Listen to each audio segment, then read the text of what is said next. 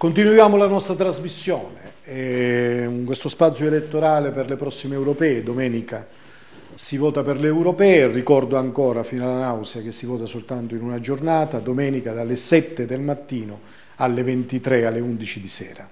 Ecco, quindi eh, ribadiamolo questo ai tanti che magari sono abituati a votare poi solitamente anche l'indomani, il lunedì, quest'anno si vota e credo che sia una buona cosa e speriamo che si vada a consolidare anche questo, si vota in una sola giornata, domenica dalle ore 7 il seggio sarà aperto fino alle ore 23 alle 11 di sera.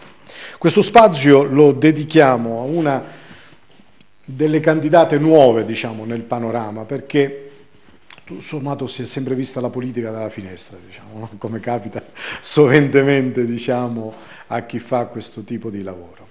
Benvenuto al direttore di Antena Sicilia Michela Giuffrida, buonasera, grazie di essere qui con noi. Grazie a voi, buonasera. Candidata indipendente nella lista del Partito Democratico. Buonasera, grazie di essere qui con noi. Come va questa campagna elettorale? Siamo agli sgoccioli ormai. Siamo agli sgoccioli sì e se devo dire, devo dire che è una campagna elettorale faticosa, faticosissima, estenuante ma anche emozionante. Io dico che è un crescendo di emozione perché questa campagna elettorale mi ha dato prima di tutto un'opportunità, quella di tornare fra la gente, quella di scendere in piazza, per le strade, di stringere decine di migliaia, centinaia di migliaia di mani, di ascoltare istanze di ogni tipo, di sentire confessioni, richieste, pacche sulla spalla, mi ha fatto sentire l'affetto e l'amicizia di cui sono capaci i siciliani. Ho detto prima così per il lavoro professionale, la politica vista un po' dalla finestra, diciamo, no? siamo dei privilegiati diciamo, da questo punto di vista. Ecco, come mai in un momento così drammatico che vive la politica, eh, non faccio distinzione né con la P maiuscola né minuscola, però ci vuole coraggio diciamo, ecco, a scendere nel lagone in un particolare momento come quello che sta attraversando la cosiddetta politica e i politicanti. Beh, eh, in realtà... Si corre il rischio la... di essere assemblati ai politicanti. Dire, La prima domanda che mi hanno fatto i miei amici, le persone che mi conoscono, ma chi te l'ha fatto fare?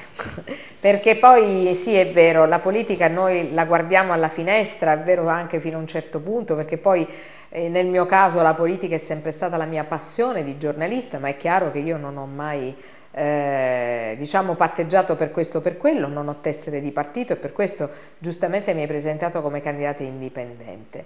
Chi me l'ha fatto fare? Me l'ha fatto fare la voglia di fare qualcosa di concreto per questa terra, ancora di più rispetto a quanto eh, è stato possibile fare nel mio piccolo, piccolissimo come giornalista. Quando ho accettato questa candidatura l'ho fatto perché sono convinta e mi sono convinta di continuare in realtà a fare quello che ho fatto fino ad oggi, Oggi, ho, fino ad oggi per tanto tempo, ma più di vent'anni, ho raccontato i bisogni di questa terra, ne ho rappresentato le istanze, individuandone le necessità, ho ricevuto migliaia di persone, sono scesa ancora una volta in piazza accanto ai manifestanti, alla gente che protestava, che chiedeva attenzione, che chiedeva un minimo di aiuto per avere voce e un giornalista è la voce delle persone che rappresenta e le persone che rappresenta un giornalista sono il pubblico, come in questo caso. Eh, voi che ci state ascoltando non fate altro che farvi un'idea di quello che noi stiamo dicendo, ma questa emittente nel suo telegiornale tratta di problemi enormi, spesso di tragedie tutti i giorni. E perché lo fa? Lo fa per portare all'attenzione dell'opinione pubblica quelli che sono i problemi di questa terra, i problemi di questo territorio. Questo fa un giornalista e ogni tanto un giornalista riesce anche nel suo piccolo appunto a risolvere questi problemi mettendo assieme le persone che non si parlano, vedendo dove si è inceppata una trafila che dovrebbe essere una trafila virtuosa. Un politico deve fare lo stesso, deve individuare i bisogni della gente e del suo elettorato, deve rappresentarlo, deve esserne la voce, essere la voce di quelli che gli hanno dato il voto, quindi gli hanno consegnato un mandato per rappresentarli e poi, individuando le necessità, anche risolvere questi problemi. Un buon politico deve fare questo io ho accettato questa candidatura per questo motivo, perché ritengo con l'aiuto, col sostegno dei siciliani che mi conoscono, ho detto nel mio eh, spot, voi mi conoscete da sempre, i siciliani mi conoscono, sanno che mi sono sempre occupata di loro e sanno anche che non li tradirò, continuando a farlo se me ne daranno l'opportunità però, perché stavolta, a differenza di prima, io ho bisogno ho bisogno stavolta lo chiedo io, del sostegno della gente per fare quello che mi sono ripromessa, per rappresentarli e per cercare di rappresentare questa terra. Stavolta non posso, armata di una telecamera, armata tra virgolette di una telecamera e di un microfono, risolvere io. Stavolta ho bisogno dell'aiuto loro, vostro, e basta poco, basta andare a votare e scegliere una persona della quale vi fidate. Tanto per stare sull'argomento del giornalismo e di queste ore, lo scandalo che è successo qui nel Calatino, eh, questa retata diciamo, di un gruppo di, di persone, ecco, li definisco così, per, per l'utilizzo improprio dei fondi europei, ecco, che sono messi a disposizione, in questo caso per la Sicilia, per creare sviluppo e non ricchezza, aggiungo anche dei soliti noti. Cosa si può fare? Ecco, tutti appresti ad andare al Parlamento europeo. Cosa si può fare per mettere delle norme, delle regole, perché non accadano più? Perché di questi argomenti, di questi scandali, tutto sommato li registriamo, ormai ci siamo quasi assuefatti. Cosa si può fare per rendere ancora più stringente l'utilizzo e quindi mobilizzare, rendere inattivi anche quelli che nel DNA hanno il modo, il truffaldino di agire? Diciamo. Beh, guarda, quello che tu hai citato è un episodio di cronaca che appunto abbiamo vissuto eh, ma, ma, ma di, po di, po di, poche ore, ore fa, fa, quasi quasi, ed è, io dico, uh, quel motto si può racchiudere in un motto, oltre il danno la beffa. Mm perché in tanti anni di agenda, in tanti anni di programmazione di fondi europei, purtroppo continuiamo ad essere la eh, l'isola, la Sicilia, che eh, sfrutta meno questi fondi, che meno li spende, che li spende male, che non li spende. E questo è un delitto. Poi la cronaca eh, ci dà appunto la distorsione, notizia della distorsione addirittura di questi fondi per altri interessi che non sono quelli della nostra terra, per interessi personali. Allora io dico, oltre il danno, la beffa i siciliani non lo possono più sopportare, perché noi potremmo entrare in possesso, e lo dico ovviamente nel senso buono, di un tesoro. Si tratta di 9 miliardi di euro che vengono messi, di, 9 miliardi, non 9 milioni, no, lo ripeto, mi sembra una cifra enorme, 9 miliardi di euro che vengono messi a disposizione di questa terra, della Sicilia, che potrebbero rappresentare la chiave di volta di un intero sistema, la ripartenza della nostra economia, che potrebbero farci avere ponti e strade e autostrade, che potrebbero farci avere posti di lavoro, che potrebbero fornire incentivi per la disoccupazione giovanile. Ci sono tante misure per i giovani, per esempio sotto i 29 anni, che possono accedere a questi incentivi per la disoccupazione e quasi nessuno lo sa. Con questi soldi potremmo avviare progetti di valorizzazione dei nostri beni culturali. Io sono in una città regale, maestosa, una città piena di storia, una città che potrebbe essere il fulcro del turismo in Sicilia.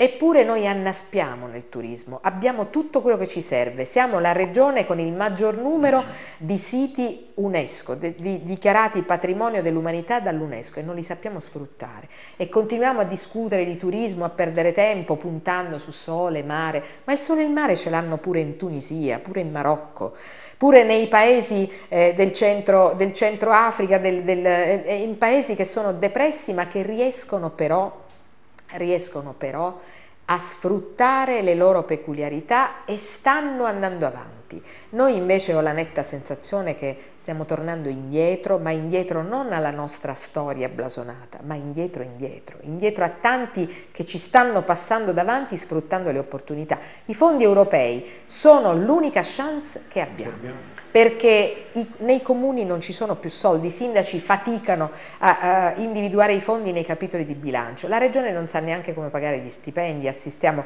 a, a quotidiane manifestazioni di disoccupati o di occupati che non vengono più pagati.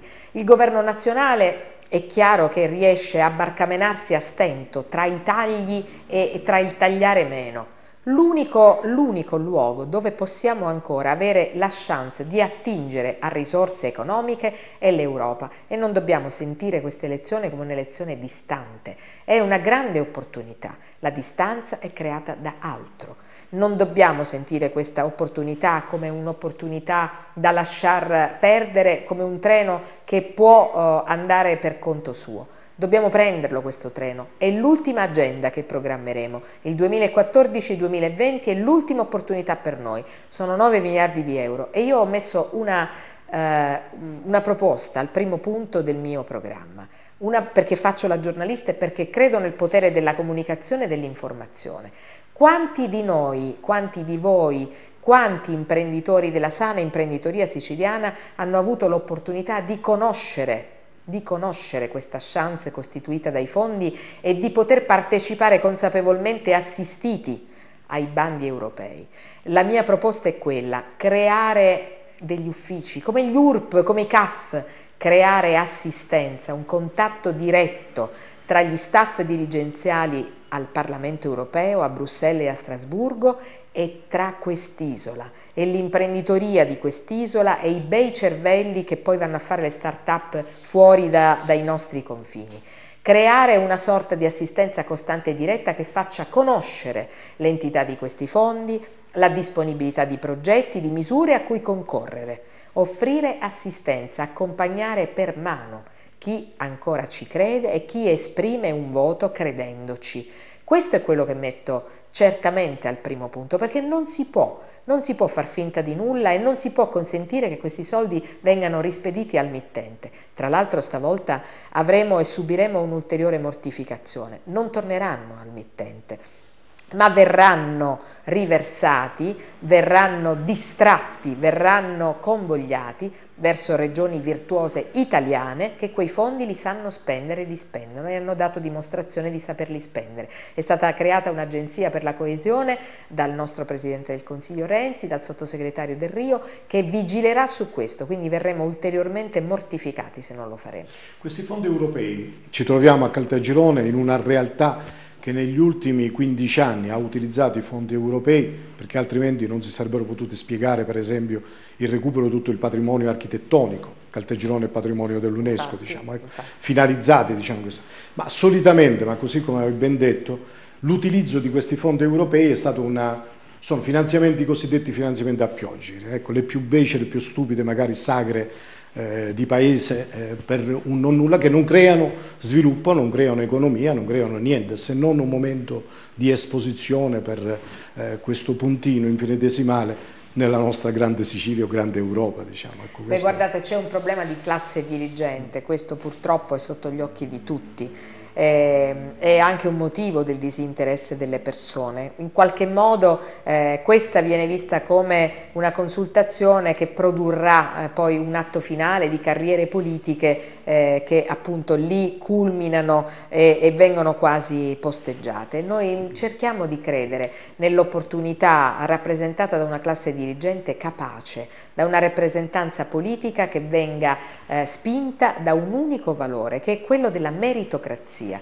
Io questo lo dico applicandolo anche nel, nel mio lavoro di tutti i giorni. A me piace, eh, ad esempio, parlando di donne, riconoscere la capacità delle donne più che invocare le quote rosa, perché mm. dico che questo poi si trasforma prima o poi come un boomerang proprio contro le donne. Le donne che hanno enormi capacità, enormi capacità, e lo dimostrano tutti i giorni, devono poter andare avanti per le loro capacità e non per il loro sesso. La meritocrazia non ha sesso, bisogna andare avanti puntando sulle caratteristiche, sul proprio lavoro, sulle peculiarità, sulle capacità, sull'onestà, che è un valore primario. Noi non possiamo consentire che gente disonesta, disonesta ci rappresenti.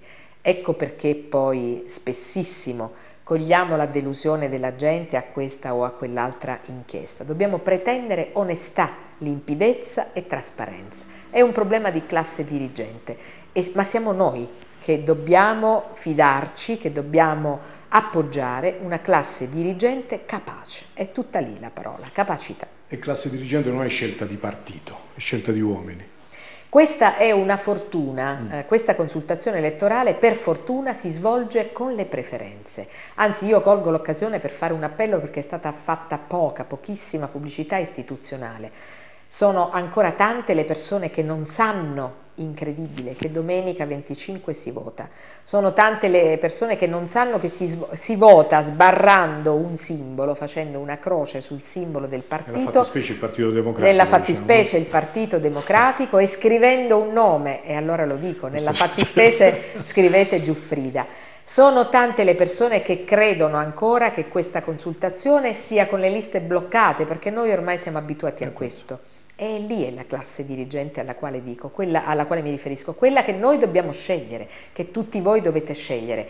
In questo caso c'è l'opportunità di scegliere, scegliere dei nomi associandoli a delle, dai volti, a dei volti, a delle storie personali delle quali vi fidate. Io dico sempre andando in giro per la Sicilia, eh, discutiamo prima delle persone, della storia personale di ciascuno di noi da lì si parte. Poi io sono orgogliosa di essere stata ospitata nella lista del PD come giornalista, come indipendente, sono orgogliosa della candidatura che mi è stata offerta da articolo 4 che ha dato oh, a tutti grande esempio di unità, grande esempio del lavoro di questi dieci deputati, dieci deputati che ogni giorno lavorano nell'unico interesse dei siciliani mi hanno scelta, mi hanno offerto questa candidatura, io sono fiera e orgogliosa di rappresentare articolo 4, il Partito Democratico e soprattutto i siciliani in questa avventura che è una bella avventura, ma non c'è dubbio che io ho tutta, tutta, tutta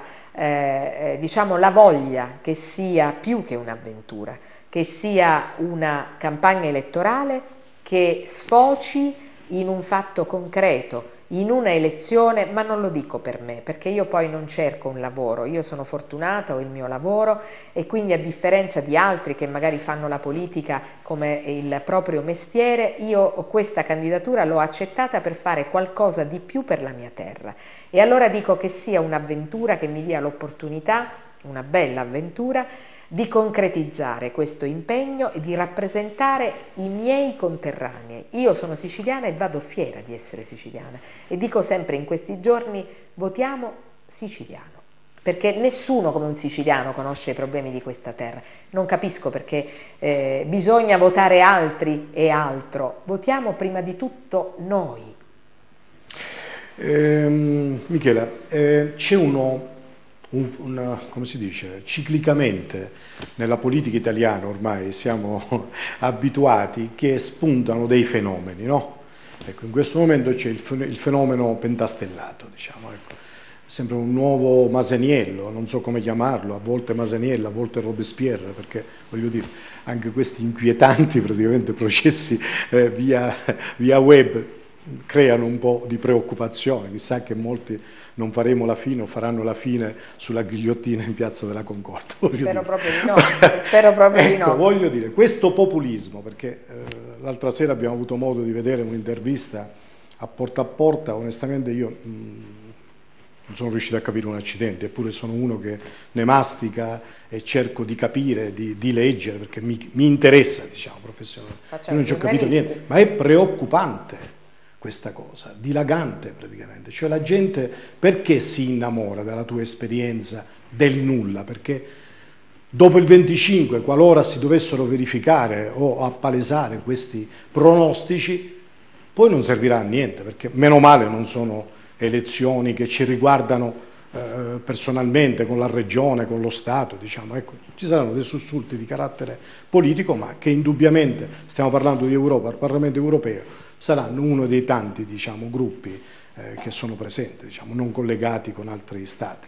Allora, io ti ringrazio della domanda anche se presuppone una risposta molto molto articolata. Mm. Parto dalla fine, tu dici anche se poi porterà uh, al Parlamento europeo i rappresentanti di questo movimento uh, che incita alla rabbia, che urla, che insulta, che grida. E, ma questi rappresentanti, una riflessione, ma noi li conosciamo perché io non li ho incontrati per le strade e ho sentito invece tanta gente che vuole votare il loro leader, ma noi non eleggeremo il loro leader, eh, voi eleggerete altre persone la cui faccia magari non avete mai visto in questa campagna elettorale. E questo è importante perché, lo dicevo prima, è importante puntare sulle persone prima che sui simboli. E allora io dico, e lo faccio pacatamente perché non mi va assolutamente di scendere eh, nell'arena. di insulti, ho sentito l'altra sera parlare di sputi, mm, veramente io non voglio neanche pensarci, però ho incontrato tante persone che per strada dicono io non ci credo più e per questo non vogliono andare a votare e per questo vogliono votare invece il movimento della rabbia. E allora io dico, noi dobbiamo prima di tutto intestarci tutti una missione, io parlo di missione e lo dico sempre, combattere il partito della rabbia. Il partito della rabbia è fatto è diviso in due, è fatto di persone che hanno deciso di non andare a votare perché non ci credono, perché si sono allontanate dalla politica che significa polis, città, il buon governo delle città. E queste persone noi dobbiamo cercare di recu recuperarle alla buona politica e portarle a votare perché chi non va a votare lascia che altri decidano per sé perché la consultazione è valida, non è un referendum, certo. bisogna raggiungere il quorum. Anche se andranno a votare poche persone, ci saranno 8 eurodeputati siciliani che andranno a Bruxelles. E allora, visto che 8 eurodeputati siciliani, 8 persone elette da noi, da questo elettorato, andranno a rappresentarci, ma non c'è dubbio che noi non possiamo non farci carico di questa rappresentanza. Io non lascio che altri scelgano persone per me, io scelgo in prima persona, magari sbagliando, ma io in prima persona professo le mie idee e questo è il primo punto. Il partito della rabbia poi è fatto anche di persone, brave persone, belle persone, anche professionisti, che dicono io per punizione voto così, per vendetta voto così. È un voto di vendetta e di rabbia nei confronti di vecchia politica che ha deluso. Io invece dico che questo partito della rabbia deve essere combattuto con un altro partito, il partito della speranza. Noi dobbiamo tornare a credere che è possibile cambiare, noi dobbiamo ricostruire partendo dalle persone e ce la faremo a cambiare, ma solo con la speranza, ma solo con questa professione di fede, quando dico che si tratta di una missione. Quello è. Ecco perché la gente non vuole andare a votare, ecco come nasce quel fenomeno, perché se poi tu chiedi, se scendi a fondo e se fai il giornalista e queste persone le intervisti per strada e nelle piazze, non sanno più rispondere, non sanno dirci qual è il progetto di governo.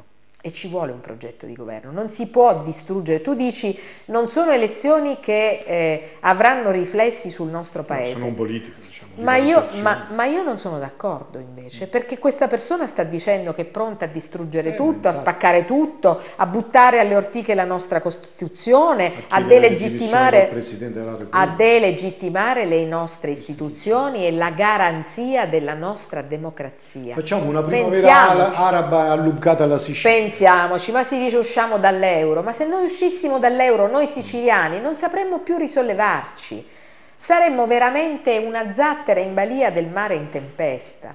Ma perché diciamo alla gente queste cose? Magari le persone che non sanno come vivere con 400 euro di, di, pensione ci credono. Noi abbiamo una grande responsabilità, noi giornalisti e noi politici, se volete interpretarmi come politico nel momento in cui io sono candidata, la responsabilità di dire la verità di non cavalcare la rabbia della gente. È facile, è facile dire rompiamo tutto, spacchiamo tutto, buttiamoli a mare e poi, e poi che cosa succede? Questo è quello che io chiedo. E poi c'è un poi? Lo sapete che cosa c'è dopo? Io ancora sinceramente non l'ho capito. I cartagironesi l'hanno capito. Senti, ci avviamo alla conclusione. no, una battuta molto localistica.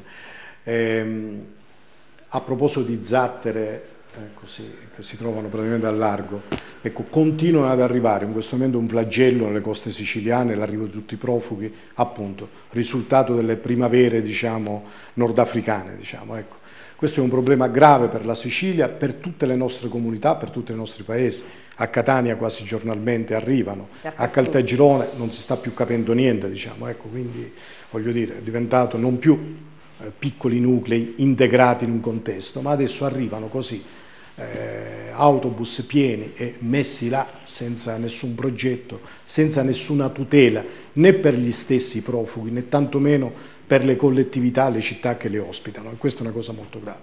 Ecco, l'Europa da più parti tutti dicono che si deve assumere la propria responsabilità. Il Mediterraneo, la costa eh, siciliana è il confine dell'Europa, non il confine dell'Italia sì. o della Sicilia. Ecco. Assolutamente sì, guarda, eh, proprio all'inizio di questa campagna elettorale un collega intervistandomi mi ha detto ma cosa pensi del problema dell'immigrazione clandestina? E io di scatto, di botto, non ci ho pensato un attimo perché avrei potuto certamente rispondere in modo più diplomatico. Ho detto ma come cosa penso? Cosa penso? Io l'ho pensato per tanti anni e tutti i giorni quando sulle spiagge c'ero assieme a voi colleghi e assieme ai soccorritori che dalle motovedette scendevano dei sacchi bianchi o verdi a seconda se fosse soccorso della Guardia di Finanza o della Guardia Costiera e quei sacchi erano pieni di uomini morti, di uomini, donne e bambini morti. Io queste cose le ho vissute in prima persona, le, li ho visti coi miei occhi, li ho raccontati con le mie parole. Sono stata nei palazzetti dove i ragazzi non potevano allenarsi perché questi palazzetti erano trasformati in dormitori. Ho, ho ascoltato la disperazione di questa gente che, che, che non vuole questa è gente che non vuole fermarsi da noi, questa è gente che vuole raggiungere davvero gli altri stati europei. E noi ci carichiamo la colpa, noi portiamo il rimorso di trattenerli qui anche per 18 mesi in attesa di un timbro e di una firma, perché non abbiamo neanche le unità, le, le persone che in prefettura possono intensificare il lavoro delle commissioni. Gridi d'allarme, ma, ma quanto tempo dobbiamo ancora aspettare? Quanti morti dobbiamo contare? Quanti lutti nazionali dobbiamo rispettare? Mentre la gente muore il Mediterraneo è un eh, cimitero eh, di, di, cadaveri. E allora io dico, eh, certo, noi dobbiamo farci carico, ma deve cari farsene carico l'Europa. Dobbiamo chiedere attenzione e risorse perché noi non siamo, come tu giustamente hai detto, il primo approdo italiano, noi siamo il primo approdo europeo e l'Europa deve farsi carico di questo problema e non può lasciarci soli noi siciliani perché approdano qui in Sicilia con un problema più grande di noi. Altro che fine di operazione Mare Nostrum, dovremmo avere più attenzione e più risorse perché certo non, non li possiamo eh, rispedire al mittente, non possiamo non dargli soccorso, aiuto e questo viene soprattutto dal volontariato. Per chiudere solitamente noi che facciamo? Le lasciamo 30 secondi per dare l'appello finale, mi sembrerebbe da ridere, porti questo limite, per cui ti lascio il microfono diciamo, ecco, allora, per io... rivolgerti tu, eh, Michela Giuffrida, candidata indipendente nella, nella lista del Partito Democratico, per il Parlamento europeo, ripeto, si vota domenica 25 dalle 7 di mattino alle 23 alle 11 di sera di domenica stessa. Lascio il microfono a Michele Giuffrida, prego. Questo appello io lo faccio ma non faccio altro che ripetere quello che dico in questi giorni e in parte quello che abbiamo discusso perché poi l'appello, vedete, l'appello è semplicemente quello a sottoporre a chi mi sta ascoltando e poi sono i miei lettori e anche il mio pubblico, lasciatemelo dire, eh, la mia storia personale, quello che ho fatto fino ad oggi, che costituisce il mio patrimonio, se volete, di credibilità. Io non sono un politico, non ho tessere di partito, ho sempre lavorato nell'interesse della gente. Ho accettato questa candidatura proprio perché voglio continuare a farlo. Ho accettato questa candidatura convinta che cambiare si può, altrimenti non l'avrei accettata. Ho accettato questa candidatura convinta che tutte le volte che per strada una persona mi ferma e mi dà fiducia, quella fiducia va rispettata.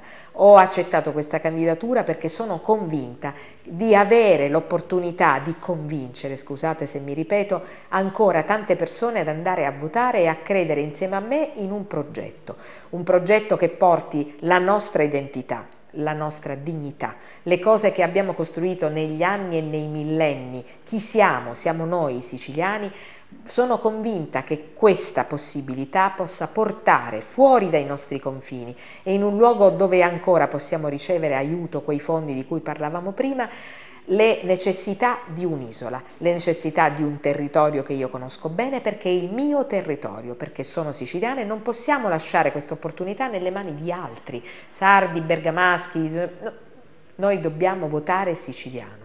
Dobbiamo costruire insieme, ricostruire il nostro futuro, quello dei nostri figli, io ho una figlia e penso al suo futuro come tutte le mamme pensano al futuro immaginandolo radioso, bellissimo, costruttivo e penso al suo futuro immaginandolo qui, in questa terra dove io sono rimasta per scelta. Questo vi chiedo, vi chiedo di aiutarmi nella costruzione di un progetto comune, non il mio progetto, il nostro progetto. Potete farlo e potete farlo veramente tutti quanti insieme dandomi un'opportunità unica quella con il vostro voto, con sbarrare quel simbolo PD e scrivere il nome Giuffrida, di darmi forza e dare forza al progetto che poi posso racchiudere in una sola frase, portare un pezzo di Sicilia in Europa assieme a voi.